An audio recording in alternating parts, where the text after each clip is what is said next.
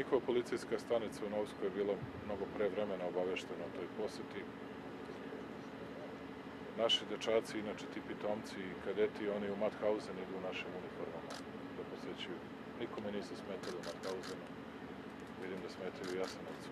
Ali znate, ta deca su sklonila uniforme i rekli ostavit ćemo uniforme, neće preći granicu Hrvatske.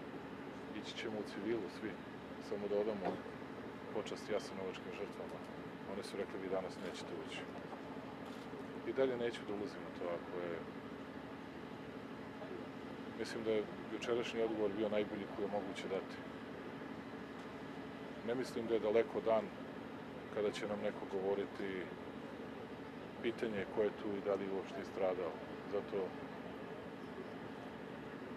mi moramo i predsednik Dodik i ja smo se oko toga dogovorili i veoma sam zahvalan Republici Srpskoj na tome. Veoma sam zahvalan predsedniku Dodiku jer to je zajednička ideja.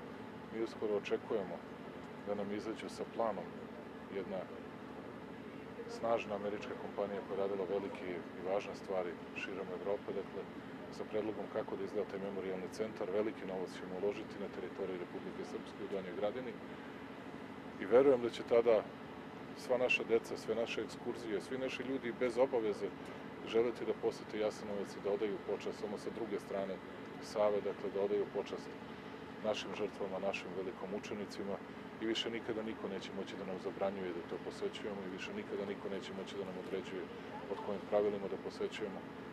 A ne vidim da je u ovoj uniformi srpskog vojnika bilo kakva uvreda, znate, nije to ustaška uniforma koja je tamo činila zločine. A nisu hteli da ih puste bez ikakve uniforme, ali zaboravite to sve, neka one rade svoj posao, neka oni imaju svoje istine, a mi ćemo da govorimo jednu i jedinu istinu, ono što se